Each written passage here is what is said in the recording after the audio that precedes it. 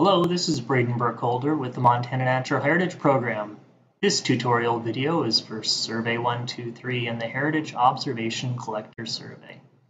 In this tutorial, I will show you how to download the Survey 123 field app, obtain the Heritage Observation Collector Survey, collect observation data in the field, and then review and submit those data to the Montana Natural Heritage Program. In the description of this video, you will find a link. Clicking on that link will take you to a screen very similar to this one. Here, if you have not already downloaded the Survey 123 Field app, you can use this button to download the app. Depending on your device's manufacturer, a specific store may be shown here for you to click on and download the app. Here I have an example of an Android device with the default Google Play Store to download the Survey 123 app. Simply clicking on that button will take you to the appropriate store where you can then click Install to install the Survey 123 app. You will have to accept some permissions for the app to install.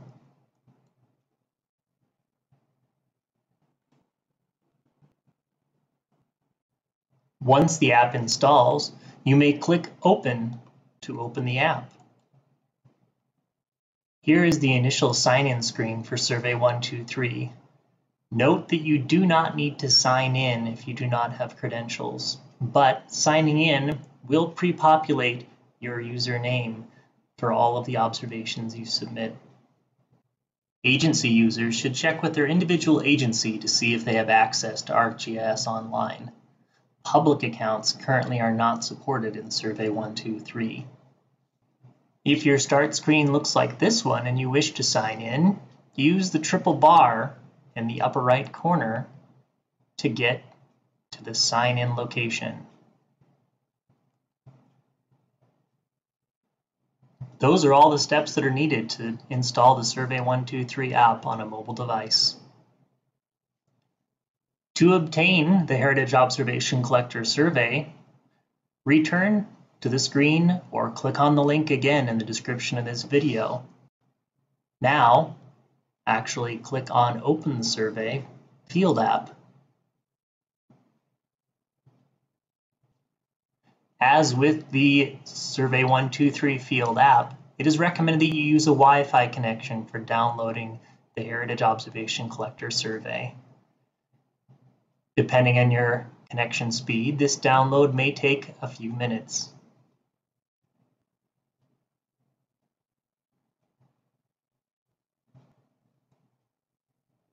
After the survey has downloaded, it may open up immediately to a survey screen.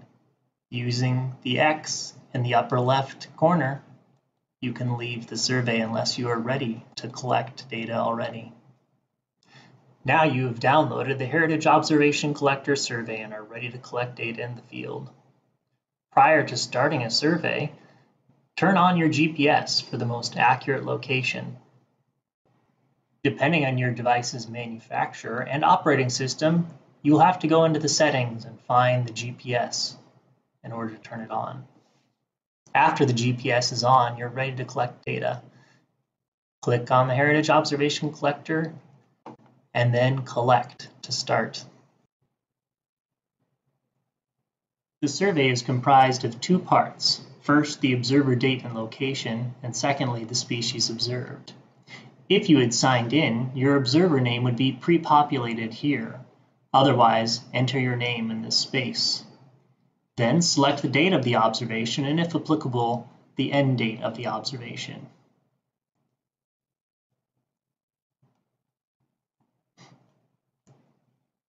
If your GPS is on, your location will be shown on this map. To take a new location, click on the compass icon in the right corner. If you wish to move the pin to more closely correspond to the location of the organism as opposed to your location, you may click on the map and drag and drop to move the pin around the appropriate location. To return to your GPS location, click on the compass icon again. The base maps can be changed using the triple bar icon in the upper right. If you have a data connection, multiple base maps will be shown. If you are out in the field, away from cell service, the Montana Offline Topo will be available.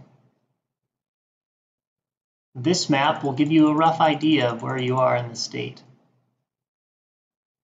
After you're happy with your location, click on the checkbox in the lower right. If your device's GPS is not active or it does not have a GPS, you may enter the latitude and longitude in the fields provided.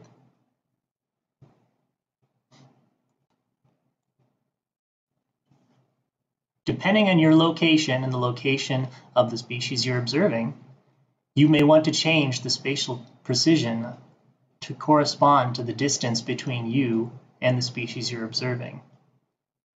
Change this number accordingly.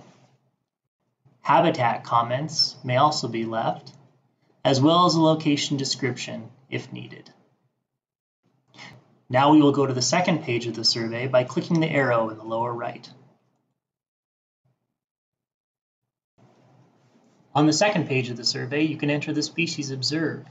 Here we've provided a taxonomic group filter in order to be able to quickly navigate to the species you're observing.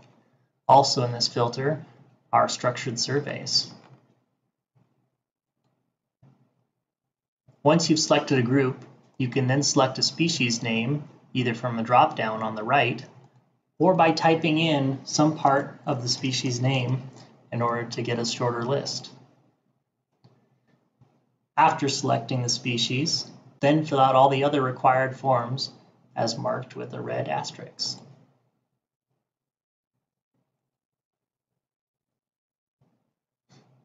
Photos may be submitted. You can either take a photo by clicking the camera icon or grab a photo you've taken previously by using the file icon.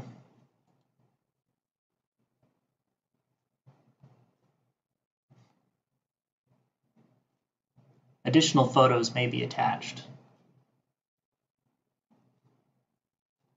Species comments can be left, and the last required field are the number observed. If you know more about the species you're observing, such as ages and sexes, you can enter those data here. Nests and eggs may also be entered if you've observed more than one species at a location, click the plus button to be able to add another species record. If you mistakenly added a record, scroll down and click the garbage can to delete just that species record.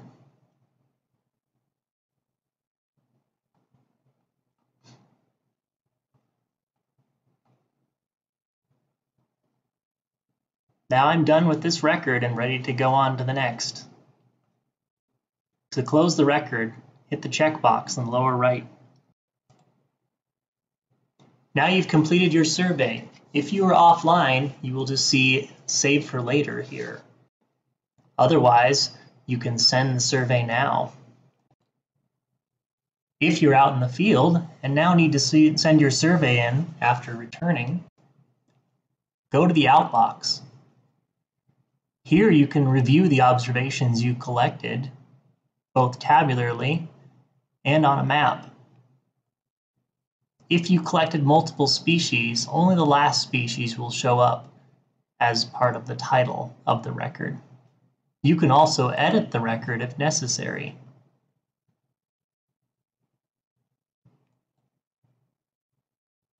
After you're done, simply hit send to send in the records.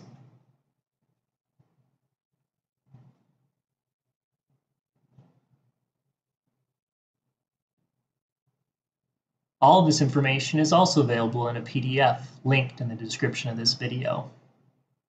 Well, that's it. Thanks for checking us out and happy collecting.